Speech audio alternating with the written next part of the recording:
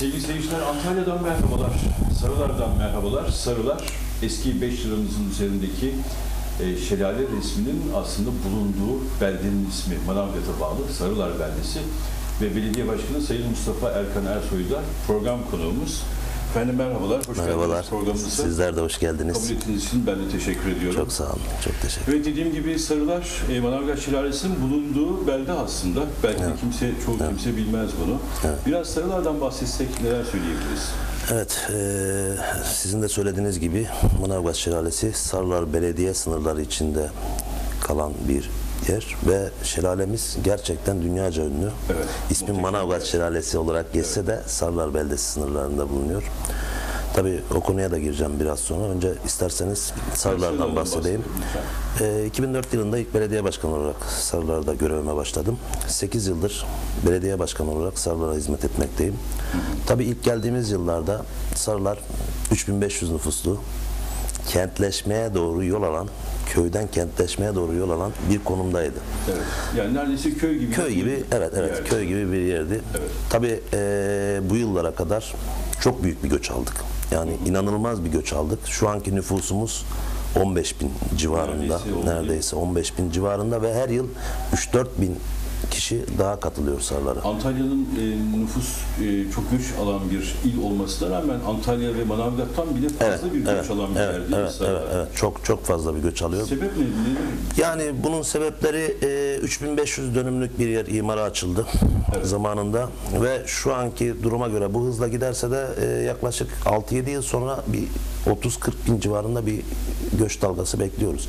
Bir de tabii ki yüksek çamların Ormanın içinde, içerisinde. ormanların içinde, merkezi bir yer. Manavga'da, Side'ye yakınlık bakımından hepsinin ortasında bir yer. Evet.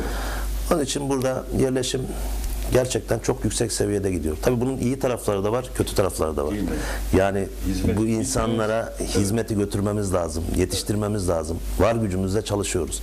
Yani elimizden geldiğince insanlara hizmetini sınırsız şekilde götürmek Neler istiyoruz. Yapıldı? Valla dediğim gibi ilk geldiğimde kanalizasyonlar, içme suları hepsi sorundu bunların. İçme suyumuz bile asbest borulardı. 70 yılında döşenmiş borulardı. Bunların hepsini 80 bin nüfusa göre bütün kanalizasyon problemini çözdük. Şu anda kanalizasyonu bağlı olmayan ev yok sarılarda.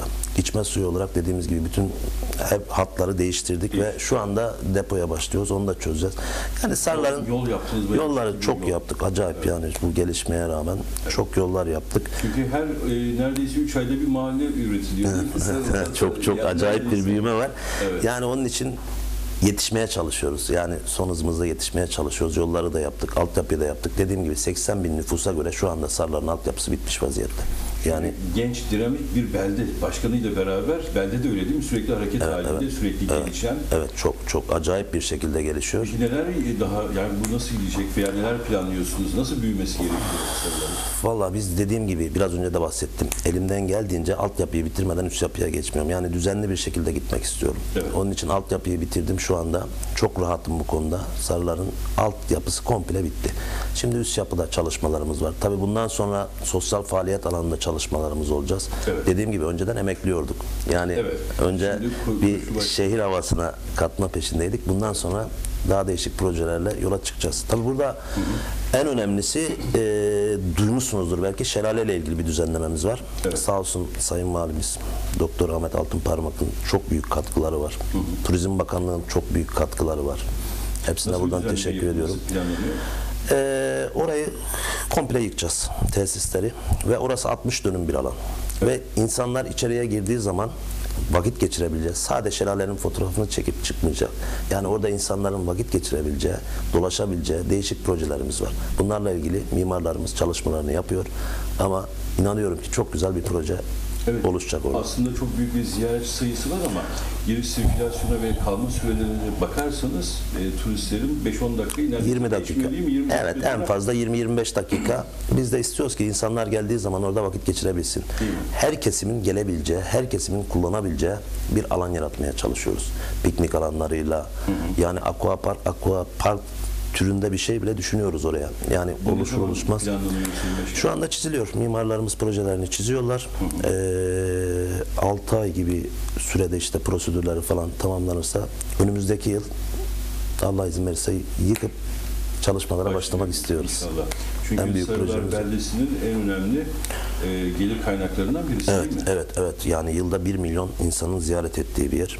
Evet. Yani onun için orada çok güzel bir çalışma yapmamız lazım. İnsanların zevkle gelip oturup eğlenebileceği, kalabileceği bir yer olması lazım. içinde bir düşünceniz var mı? Farklı artık yavaş yavaş e, Sarılar e, kültür merkeziyle ne bileyim futbol sahaları bir takım çalışmalar yaptığınız zaman Yani dediğim gibi e, ben hep altyapıyla uğraştım bugüne kadar. Temeli sağlam olsun istedik. Evet. Onunla ilgili de başardık. Bundan sonra Sarılar'da daha değişik sosyal faaliyetler olsun. Zaten futbol anlamında gereken şeyi 3-4 yıldır yapıyoruz. Her şeyi yapıyoruz. futbol takımınız var. Futbol zaten, takımımız var. Belde olarak. Belde olarak. Okulumuz sorunluydu. Bir dernek kurduk. Bir ilkokul. Evet. Herkesin katkılarıyla ilk öğretim okulu. Evet, 24 modern derslik okul- modern okul ilk öğretim açıldı. okulu yaptık. Tabii bunlarla bitmez. Daha sonra bundan sonra insana yönelik. Evet. Ya, yatırımlar, mutlu olacağı- insanların mutlu olacağı çalışmalara gireceğim yani Çünkü ben bundan sizin sonra. biliyorum e, fikirlerinizi artık bundan sonra e, e, Sarılar'da oturan insanlar mutlu insanlar olmalı düşüncesi vardır her zaman. Evet. E, onu çok iyi biliyorum. Bir de sahiliniz yok ama siz neredeyse sahil beldeleriyle yarışacak kadar yalnız yatırım yapıyorsunuz. Evet, evet. Yani şunu söyleyebilirim. e, yatırım anlamında da bilinçli yatırım yapmak çok önemli. Yani ben neredeyse bütçemin yüzde yetmişini 75'ine yakınını yatırıma çevirebiliyorum. Yani Evet. yanlış iş yaparsan bizim gibi küçük beldelerde yani bunun telafisi zor olur. Onun için gerekli işi gerekli zamanında ve yerinde yapmak lazım. Çok Yani bütçeyi iyi kullanmak lazım. Evet. Yani bu- E, beldenin çevre köylerinden de belli bir göç alınıyor.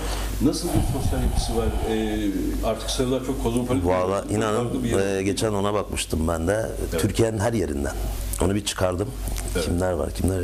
Küçük bir Türkiye oluşmuş Sarılar'da. Yani bütün her yerden insanlar gelmiş yerleşmiş burada. Daha çok da tabii burada kalanlar turizm çalışanları oluşturuyor. Yani yüzde yetmişi, yüzde altmış beşi turizm çalışanlar.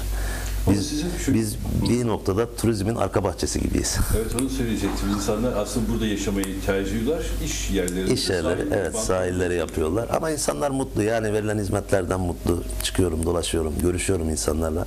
Gerçekten elimizden geldiğince bir çaba içindeyiz.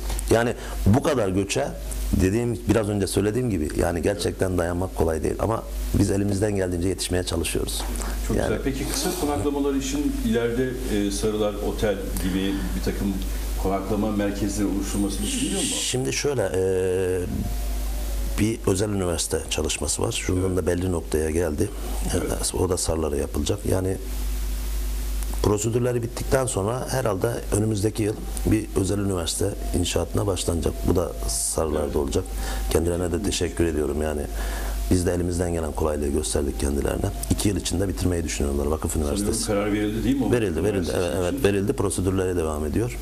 Ee, iki yıl içinde de inşaatı bitip bir üniversiteye de kavuşacağız Sarılar'da. Sarılar Üniversitesi ile Şelalesi de o zaman Evet, evet, evet. e, bayağı büyümeye aday bir kent haline dönüşecek gibi görünüyor. Evet, evet. O, o çok büyük bir katkı sağlar bize. Ondan çok mutlu olacağız. Evet, bütün Türkiye'nin her yerinden, hatta Avrupa'dan izleyen birçok vatandaşımız var. TRT Anadolu'yu çok seviyorlar, takım oyunu özellikle çok seviyorlar. İzleyicilerimize ne söylemek istersiniz? Bir ziyarete gelsinler. Valla her zaman için her zaman için beklerim. Gelsinler, sarılarımızı görsünler, şelalemizi görsünler. Evet. Şelalemize e, bildiğiniz gibi dünyaca ünlü bir şelale. E, Tabii birçok insan görmüştür. Şelalesi Adı ama- Manavgat Şelalesi ama Sarılar beldemizde kendilerini her zaman misafir etmekten onur duyarım. Her zaman içinde beklerim kendilerini. Evet, ben de çok teşekkür ediyorum e, verdiğiniz bilgilerden dolayı. E, Sarıları ben de gerçekten çok seviyorum. Havasıyla, yapısıyla, insanlarıyla çok sıcak ve güzel bir yer. İnşallah böyle e, güzel bir şekilde gelişmeye devam edecek. Çok teşekkür ediyorum. Ben teşekkür çok teşekkür ederim. Sağ. Çok sağ olun. Sevgili seyirciler sizlere de çok teşekkür ediyorum. Bizi izlediğiniz için tekrar görüşmek dileğiyle. Hoşçakalın.